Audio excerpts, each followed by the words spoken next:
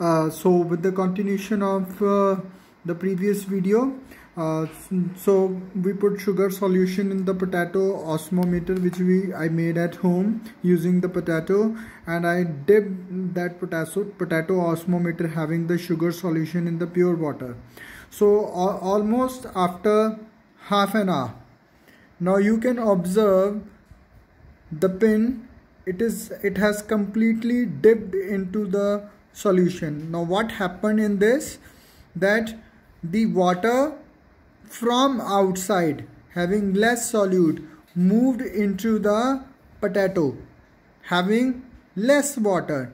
So that it shows the endosmosis and shows that how water from its higher concentration moved into the lower concentration and we call it as osmosis. So let me mark the point now where the water has reached. So if I can show you now water has reached almost to this level.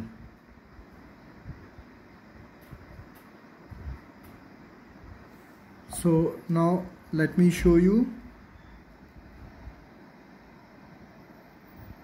so now look the difference that how water rised into the potato.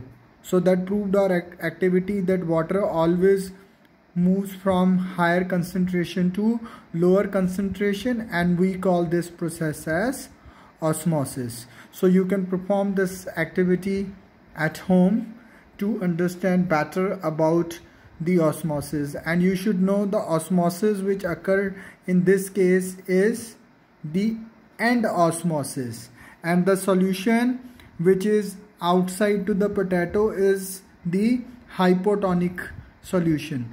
So the outside is the hypotonic solution having less sugar or no sugar at all. It's a kind of pure water and inside the potato osmometer there is there was the sugar solution. Earlier the level of the sugar was based on that pen but after almost 20 to 25 minutes water from outside having more concentration moved into the potato having low concentration. So now you can see the difference of the level of the water inside the potato osmometer. So that proves the activity of osmosis that water always move from the region of higher concentration to the region of lower concentration. And this is the uh, function of the cell membrane. Thank you